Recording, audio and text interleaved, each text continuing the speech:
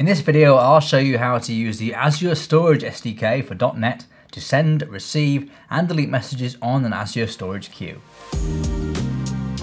Welcome along or welcome back to our channel. My name is Chris Roberts and this is Roberts Dev Talk. Now message queues are a brilliant way of decoupling different parts of your web application. So moving long running tasks like creating documents, sending emails, that kind of thing into separate services, therefore keeping your main application user experience nice and fast and smooth. Now Azure Storage Queues are a cheap and effective way of using message queues at scale in the cloud. So in this tutorial I'll show you how to send, receive, delete and handle messages in .NET using the latest version 12 and above SDK for C Sharp. Now over the past few videos in this series, we've been creating a microservice in C Sharp that's designed to pick up messages from an Azure Storage Queue that are sent whenever a customer makes an order. We've been building on the .NET Core worker template and using the Coravel task scheduler to schedule our jobs. So I'll be continuing that example in this video. However, this code of course will work with your projects as well and in any .NET project from .NET Core version 3.1 and above. Now the purpose of this service is to pull messages from an Azure storage queue that relate to customer orders and then send out confirmation emails. So with that in mind, I've created an order info class. This contains some information about the order, including the customer name and their email. Also notice that I've created a queue message ID and queue pop receipt properties on the class.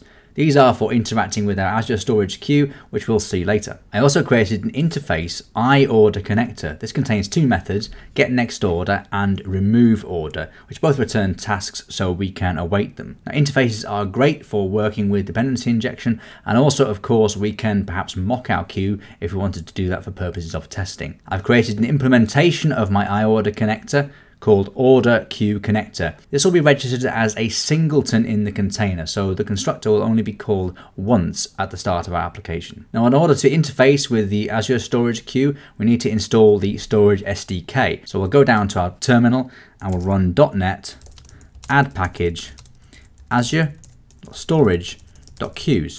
We'll run that. we look in our CS project file, we'll see that the version 12.7 of the SDK has been installed. Now version 12 contains quite a few big changes from version 11, so keep watching to find out how to use the updated SDK. So let's talk to our Azure Storage Queue. Let's head over to our Order Queue connector, and first you want to use the built-in logger for logging out messages, so we'll add a private read-only iLogger of type Order Queue connector and call that logger. And let's keep IntelliSense happy by adding the Microsoft Extensions logging package into our usings. And then to talk to our queues, we'll add a private read-only queue client. And we'll call that order queue client. Now, IntelliSense wants us to add the Azure Storage Queues using statement. Let's create a constructor and let's inject the iLogger of type order queue connector and we'll call that logger and then assign logger. Now we need to set up our order queue client. And previous versions of the SDK, we created a connection to the storage account itself and then got instances of the queues. In this version of the SDK, we just create a queue client directly using the connection string and the name of the queue. So first of all, let's get the connection string from our environment Now this retrieves the storage connection string from the environment. I'm using a .env file to load my environment variables into my project during development. If you'd like to see how to use .env files with .NET, then check out the video, which I'll link somewhere up here above. So now we have our connection string, we also want to create a queue options object. This allows us to configure how our queue client behaves. So we'll create a new variable and call it var queueopt, and that will be a new queue client options object. Now what we want to do is we want to configure our queue client to automatically encode and decode our messages using base64. This is great for making sure that our formatting is all correct and we're not losing anything in transition, but also previous versions of the SDK and some of the Azure Functions runtimes use base64 encoding by default when sending and receiving messages. So we want to be consistent with them. So all we need to do is set our message encoding to queueMessageEncoding.base64. Finally, let's assign our order queue client using the constructor new queue client, pass in our connection string, the name of the queue, which will be customer orders, and then finally our queue opts object. Now when we first start our application, it may be that our queue does not yet exist. So we have a great little method on order queue client, which is simply create if not exists.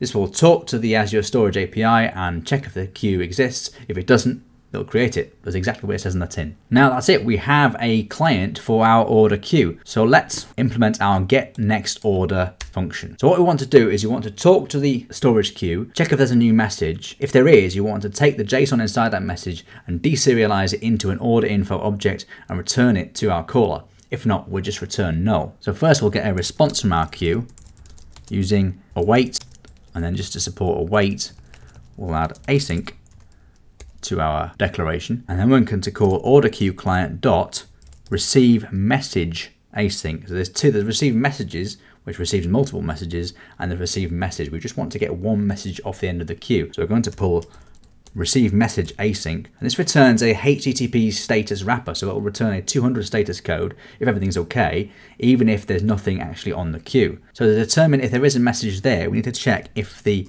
response dot value is not equal to null, because the response will always exist and it will generally return a 200 status code if everything is okay. It'll be our value that contains the message body.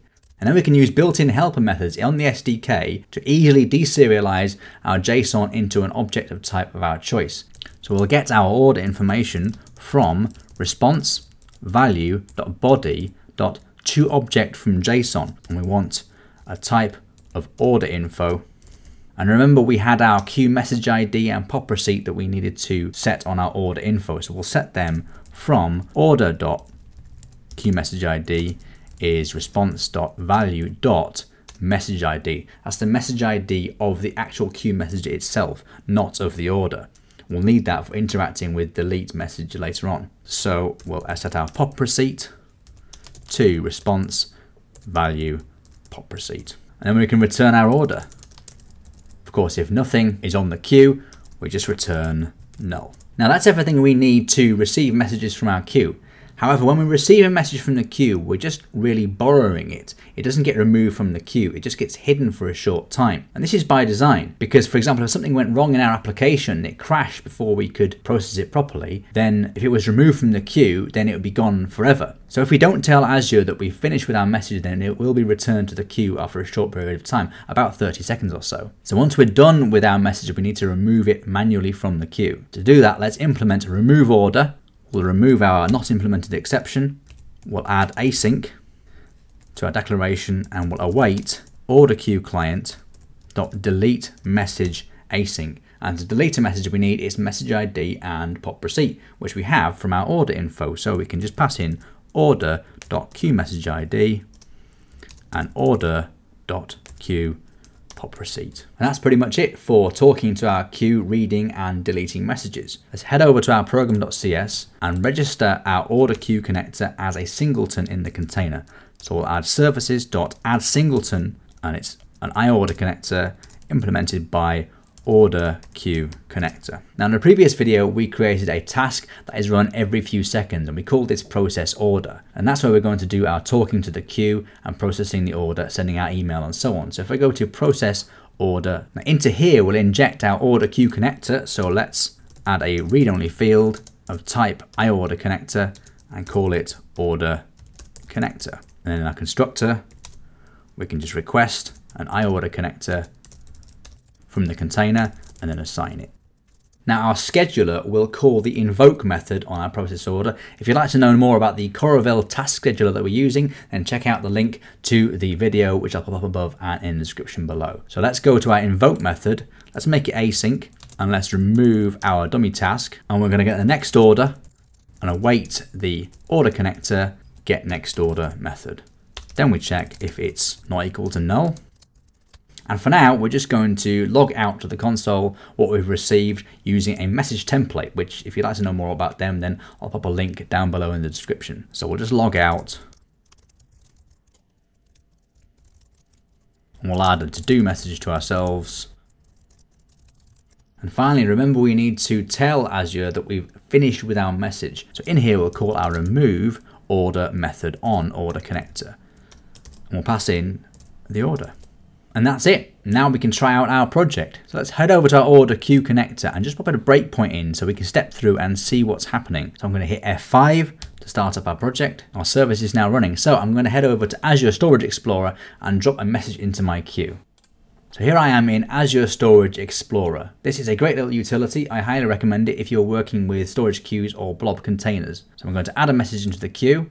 I already have my JSON on the clipboard, so I'm going to paste that in, leave the encoding as base64, which is what we want, and then click OK. And straight away we hit our breakpoint because of course we found a message on our queue. So let's step through and see what happens. So if I hit F10 on my keyboard to step through and then open out our debug panel, we'll see that a order info class has been deserialized from our message.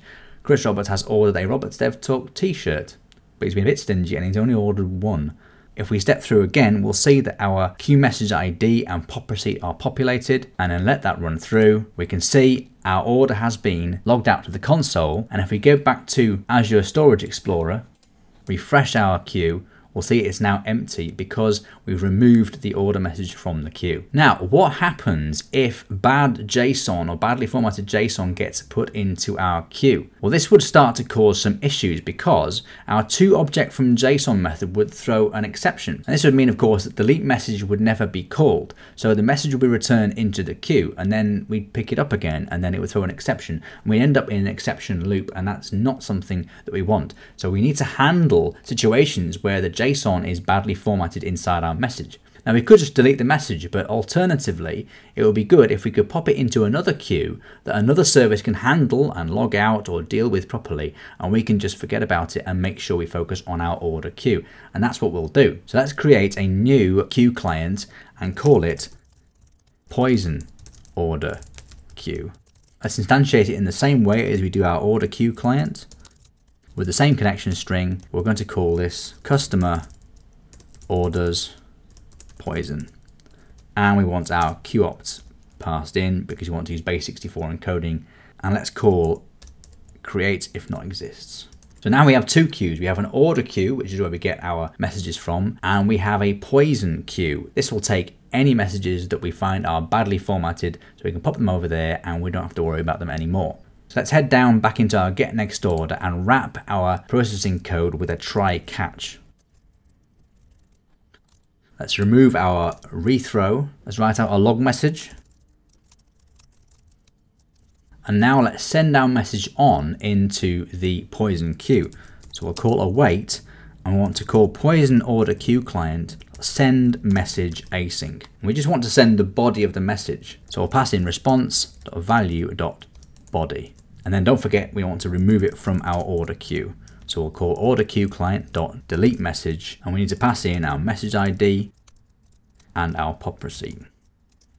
That's it. Let's leave the breakpoint in there, but pop one on our catch code. Let's head back to our Azure Storage Explorer and create some bad JSON. So here we are back in our queue. Let's create some bad JSON by adding a message. We'll just say bad JSON because that will not deserialize into a proper object and it will force a JSON exception. Let's click OK. Let's head back to VS Code and run our code. Notice straight away we've hit our breakpoint because there's a message in the queue. Now if we try to step through and deserialize our object, we'll throw an exception. We'll step through here, log out to the console, and we'll send a message into the poison queue and then remove the message from our main orders queue. Now if we head back into Azure Storage Explorer and refresh our customer orders, thankfully we've seen that the bad message has been removed. If we go into custom orders poison and refresh, we'll see there's our message. So another service downstream can process that for us and we can just focus on processing customer orders. So that's how to use the Azure Storage V12 SDK to both read, write and delete messages from storage queues. In the next video, I'll be showing you how to use the Fluent email library with .NET Core to send emails using Razor templates. So stay tuned for that, and as always, if you've got any comments or questions about this video or any other in the series, please do drop them down below and I will do my best to come back to you. Thank you so much for watching. If you enjoy this kind of content, then please do consider subscribing and tap that bell notification icon so you know when we upload future videos. Also, check out the link below to sign up to our Developer Journey newsletter, and if you'd like to support what we do, there's a link to buy me a coffee as well where you can buy us a beer or a coffee. It's all very much appreciated. Thank you so much for watching. See you in the next video and happy coding.